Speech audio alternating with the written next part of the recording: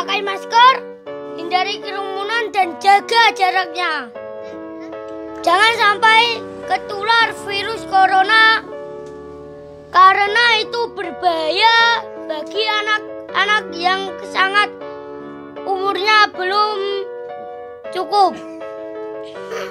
Begitulah COVID-19 ini sudah menyebar di desa-desa.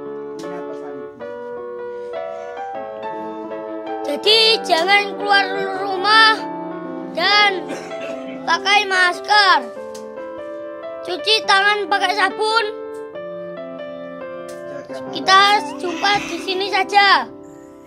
Bye bye.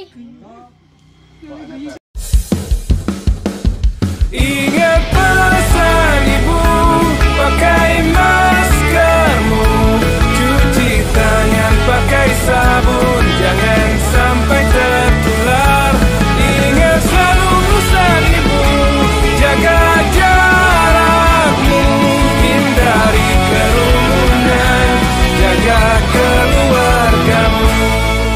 gerakan 3M. Pesan ini disampaikan oleh